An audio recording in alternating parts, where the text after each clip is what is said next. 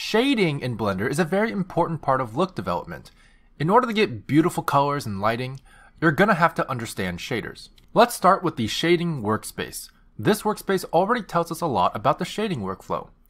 To start off, the workspace automatically brings us into look dev mode in the viewport, a mode that approximates lighting with an environment texture to give the user a general idea of what their shader will look like without fully rendering it.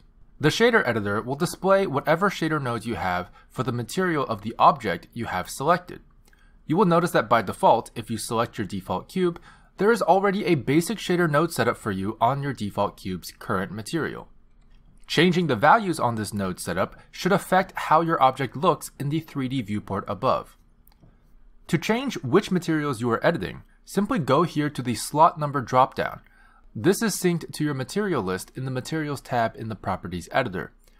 Simply select a different material slot in the list to change the material you are editing in the shader editor. You can also replace the material in the current slot with an existing material using the material dropdown to the right of it. If you only have one material here, you can actually add more materials by pressing the plus icon. You can then either select an existing material through this drop-down menu or click New to create a brand new material. Another way to create new materials is by duplicating existing materials. To do that, you can press the New Material button, which looks like a stack of papers.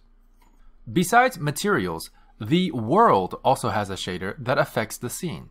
To edit the world shader, simply change this drop-down menu from Object to World. The File Explorer here can be used at any time to navigate your hard drive for images and textures. To bring an image into your scene, simply left-click drag the file from the Explorer into any one of the three adjacent editors. Dragging an image file into the 3D viewport imports the image as a reference object. Dragging the image file into the shader editor will automatically add it as an image texture node.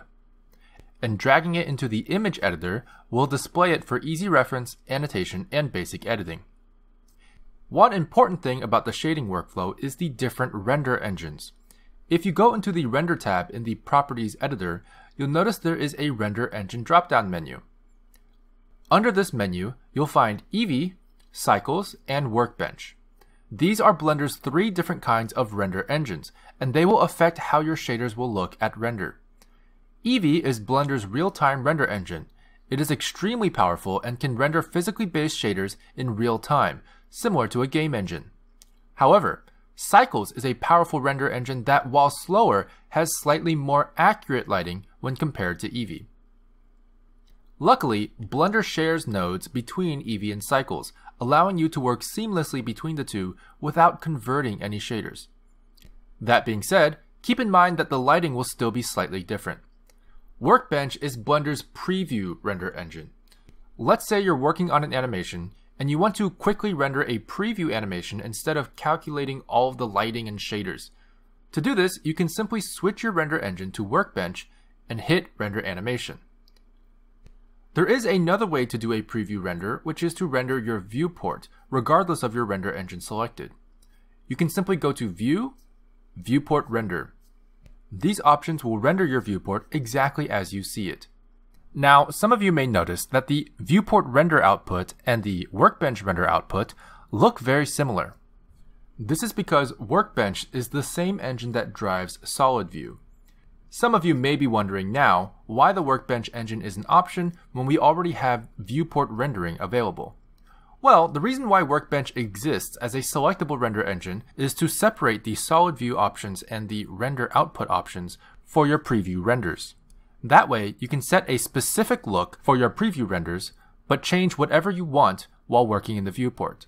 The Workbench render engine also automatically hides display overlays and renders through your active camera.